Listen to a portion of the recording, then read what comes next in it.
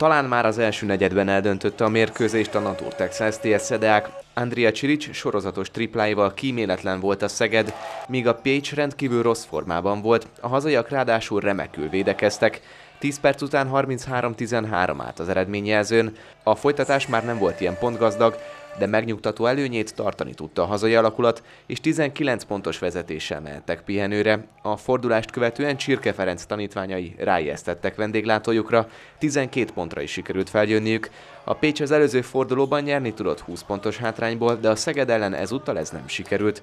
Ismét jöttek a szegedi három pontosok, és a záró negyedre már 58-41-re vezettek a hazaiak. Az utolsó 10 perc eleje Virt Ádámról szólt, sorozatban három triplát szórt be, visszaállt a legalább 20 pontos differencia, így a meccs végére Mándics mester a fiatalokat is pályára tudta küldeni. A vége 80-57, a Szeged idén először nyert a Pécs ellen.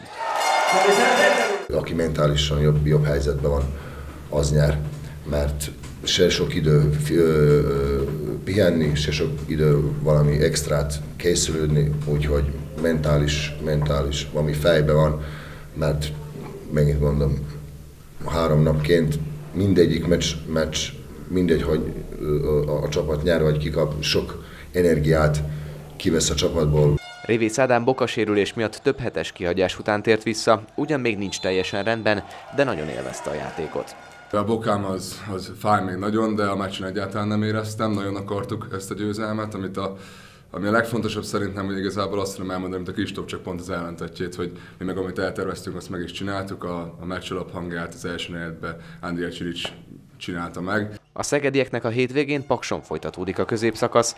Április 14-én 19 órakor lépnek pályára Juhosék az atomerőmű otthonában.